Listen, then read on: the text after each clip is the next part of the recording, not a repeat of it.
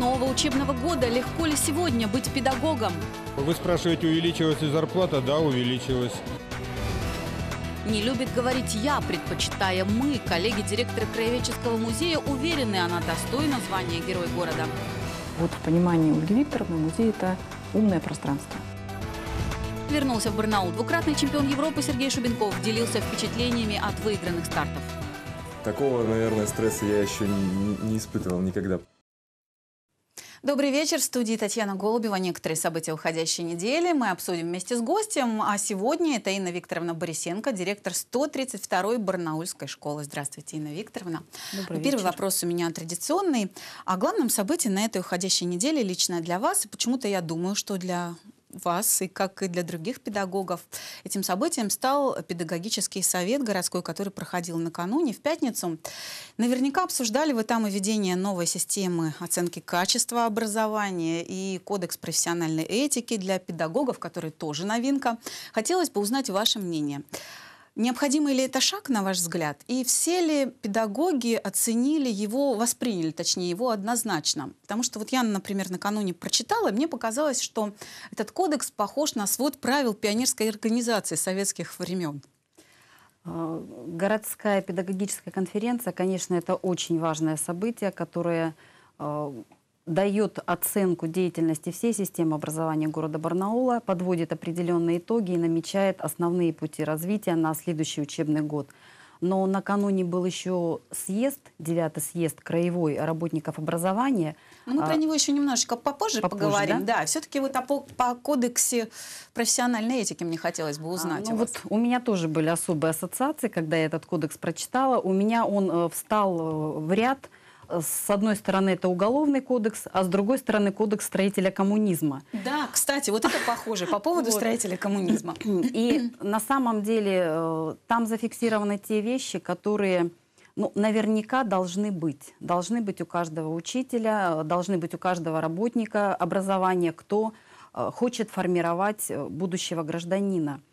Но есть вещи, которые носят чисто декларативный характер. И вот почему, с одной стороны, уголовный кодекс, где прописано то, что нельзя и какое наказание, и, стро- и моральный кодекс строителя коммунизма.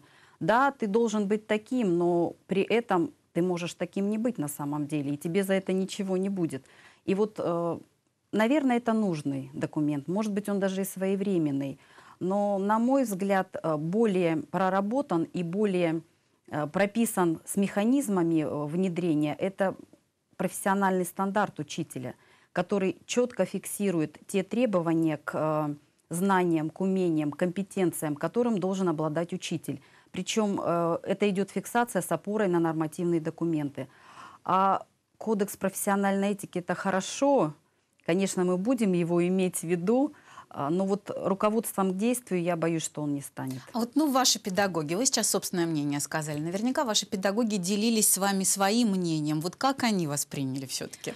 Э, С одной стороны, так же, как вы восприняли это как напоминание прошлого нашего, когда мы учили свод правил пионеров, комсомольцев. Да, там педагог должен быть примером да. для Во подрастающего поколения. Да. А С другой стороны, они где-то и на себя примеряли, а вот я вот именно такой, как там записано, или мне еще есть к чему стремиться. И есть третье мнение, что, ну, наверное, идеалом быть невозможно. Да, может быть, как какой-то ориентир. Но вот резких отторжений, резких каких-то негативных Но моментов заявление нет. об уходе никто не написал. Да, нет.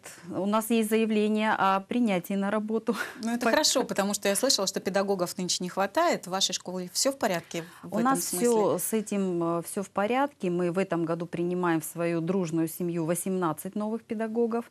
И надеемся, что они войдут в наш коллектив со своими идеями, мыслями, э, со своими наработками. Мы будем рады их видеть, и мы проблему решили.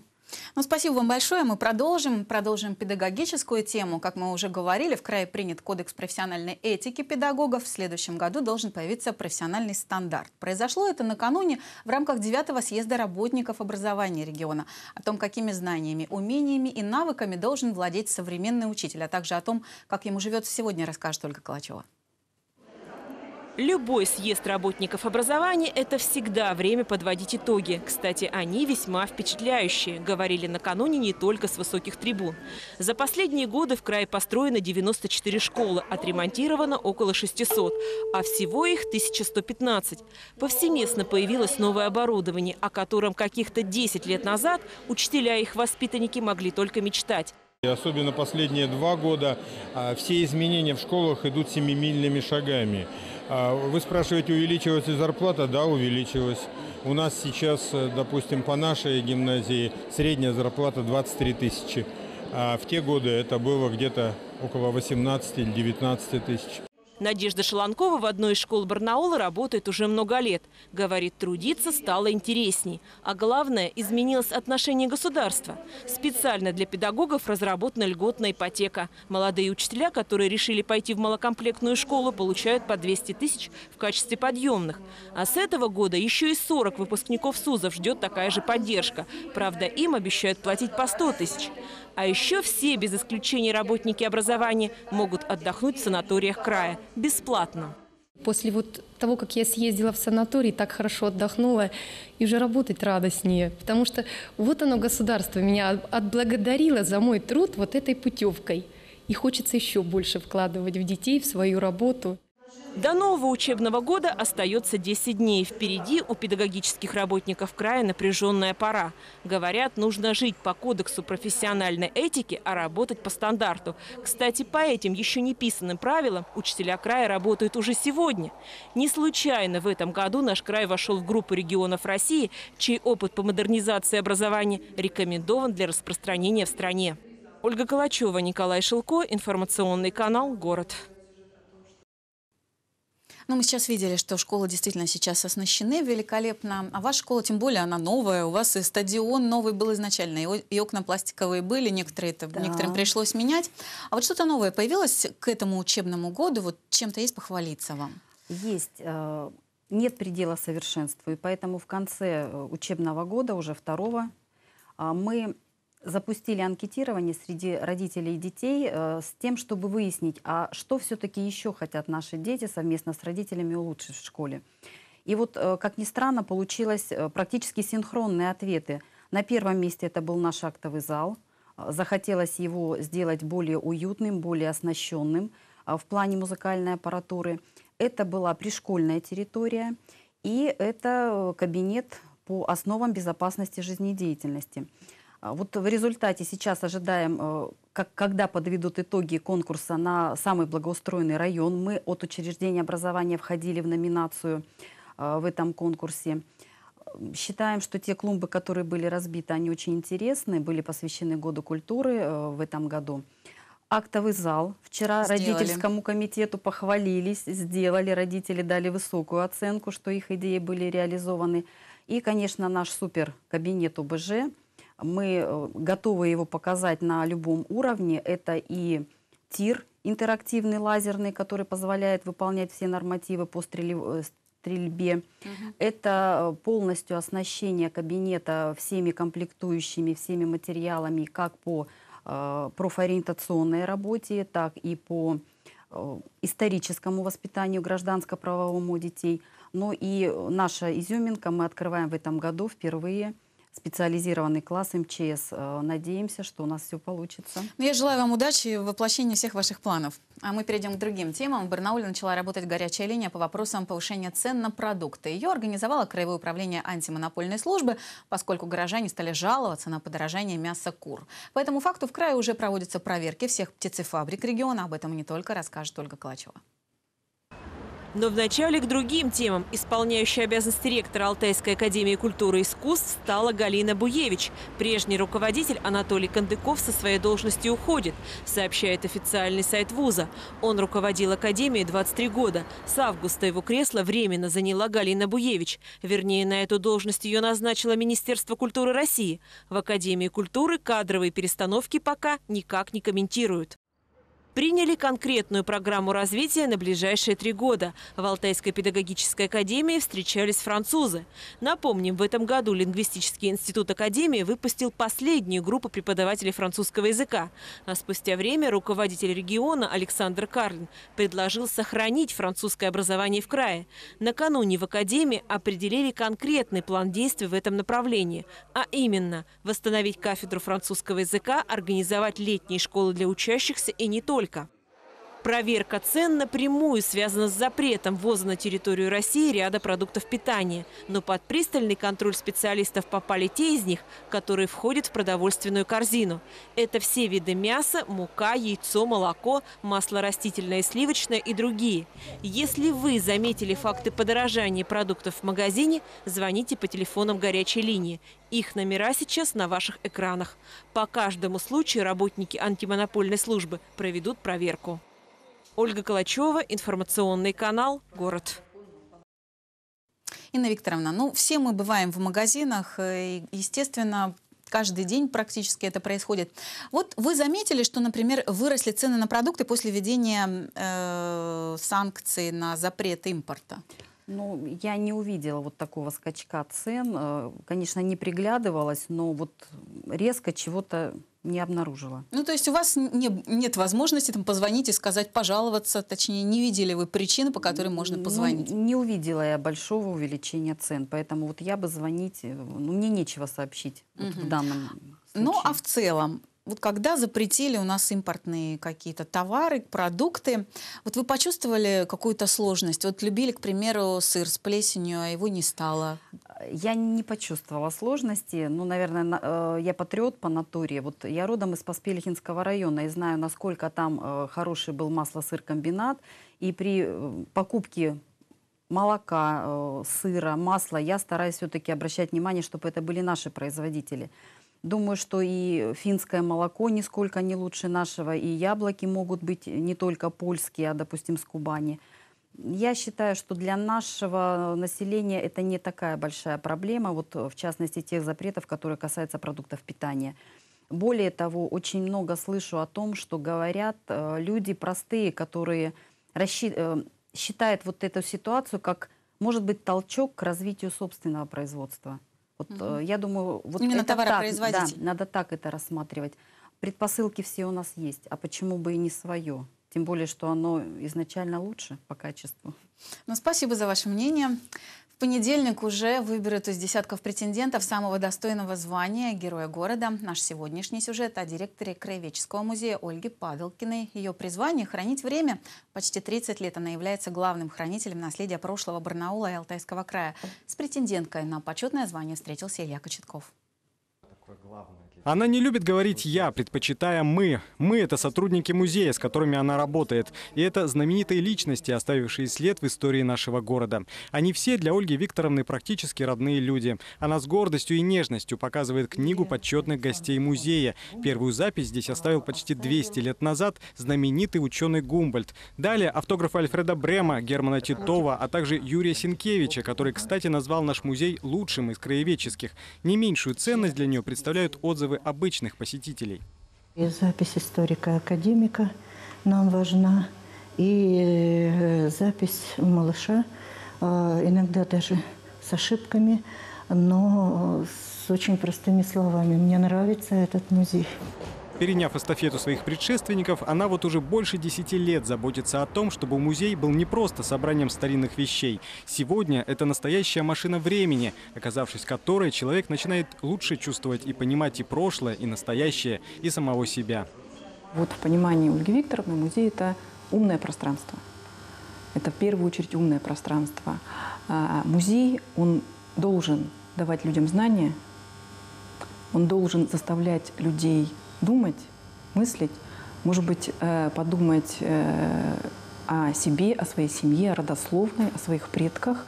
Заслуга Ольги Викторовны и в том, что музей не застыл во времени, он постоянно развивается. Древние экспонаты гармонично сочетаются здесь с приметами новейшей истории. И она делает все для того, чтобы эта нить, протянутая из прошлого в будущее, не порвалась никогда. Илья Кочетков, Александр Морозов, информационный канал «Город».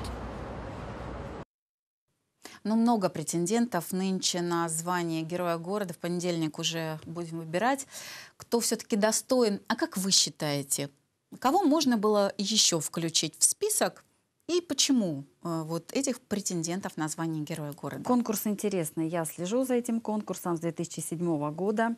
Но вот э, возник у меня вопрос. Почему-то я предполагала, что в 2014 э, год, год олимпийский, год, когда вся страна в едином порыве проявляла патриотизм, Почему не спортсмен? Ведь столько достойных спортсменов у нас в городе Барнауле, которые Дворовый тренер там есть какой-то, точно знаем. Э, ну вот, э, я думаю, что, наверное, дворовый тренер это хорошо, но не тот уровень. То есть, э, мне кажется, вот, допустим, Сергей Шубенков, тот молодой человек, который заявляет говорить, заставляет говорить о городе Барнауле на уровне таком высоком, и он еще молод, он еще долго будет выступать. А почему бы не он?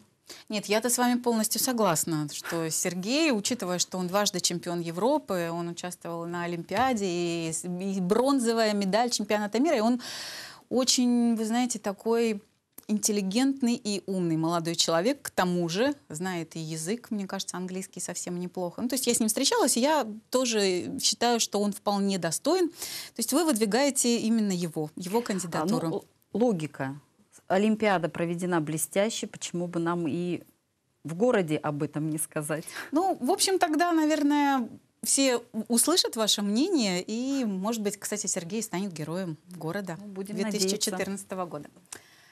А мы к новостям культуры перейдем. Музыканты Великорусского оркестра «Сибирь» прозвучат в кино, а барнаульские девушки могут стать участницами реалити-шоу «Холостяк», продолжит Елена Кузовкина. Музыканты Великорусского оркестра «Сибирь» прозвучат в фильме московского режиссера Сергея Никоненко. Съемки кинокартины под названием «Охота жить» запланированы на февраль-март 2015 года. Основы сюжета составят рассказы Василия Макаровича Шукшина. Ну а главные роли исполнят сам Сергей Никоненко, Нина Усатова, Валерий Баринов и другие. Оркестр «Сибирь» уже приступил к записи музыкального сопровождения будущей картины. В галерее «Проспект» продолжает работу выставка «Особый ребенок. Обычное детство». Мы познакомились с одним из участников этого любопытного, вместе с тем сложного проекта. Фотографам предстояло работать с семьями, в которых воспитываются детки с ограниченными возможностями здоровья. Девочка Маша, которая досталась Максиму Наземцеву, никогда не увидит свои фотографии. У нее проблемы со зрением. Зато появился новый друг. Обязательно приеду с фотографиями, э, напечатаю их на какой-нибудь приятной бумаге, которая шуршит, чтобы все это можно было полистать, потрогать. И мы обязательно попьем чайку вместе, пообщаемся. И я думаю, что все будет здорово. У барнаульских девушек есть шанс встретить свою любовь на самом романтичном шоу канала ТНТ «Холостяк». 27 августа в краевой столице пройдет кастинг третьего сезона. Возможность попасть на шоу есть у красавиц только из двух городов Сибири – Барнаула и Новосибирска. Принять участие в кастинге приглашают незамужних девушек от 18 до 40 лет. Предварительно необходимо позвонить по телефону 8 906 962 9206 и записаться на прослушивание. Приходите, может именно вам посчастливится понадобится побороться за сердце таинственного холостяка. Елена Кузовкина, информационный канал «Город». Ну, вот такой конкурс у нас проводят, в том числе в Барнауле будет кастинг. Все девушки приглашаются от 18 до 40 лет, как мы уже услышали. Скажите мне, пожалуйста, Инна Викторовна, вот э, если бы в свое время да, у вас была возможность такая принять участие в кастинге и побороться за звание обеспеченного холостяка, известного российского, может быть, там, я не знаю, не российского, вы бы согласились принять участие в подобном конкурсе? Ну, первое, я считаю, мое время еще не ушло. Я еще вполне это могу сделать, если захочу, да. Кастинг до 27 августа.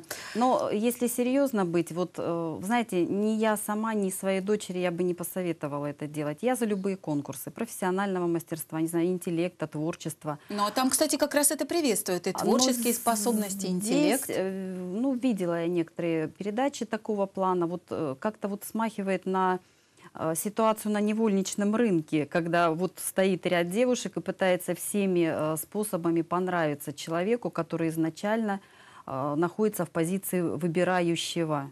Но вот. все равно у девушек же есть мечта, и это же реалити-шоу, которое предполагает, может быть, такое, а показать себя на телевидении, свои какие-то способности, даже если тебя вот этот холостяк не выбрал, у нас же все-таки это телевизионный проект какой-то. Ну, если только заявить о себе, э, то может быть, но вряд ли пошла бы на это сама. Ну вот в такую любовь телевизионную вы ну, не, не очень верю. верите, Вот, да? вот как-то не верю. Ну, понятно. Ну, а я все-таки думаю, что каждая девушка, которая мечтает выйти замуж за богатого и знаменитого, и у нее есть при этом какие-то возможности и творческие способности, пусть она придет на кастинг. Кастинг продолжается до 27 августа. Телефон вы видели на своих экранах. А теперь о спорте. Триумфатор европейского первенства по легкой атлетике Сергей Шубенков в понедельник вернулся в Барнаул. Вновь он заставил весь мир говорить о себе. Не только об этом в нашем спортивном обзоре.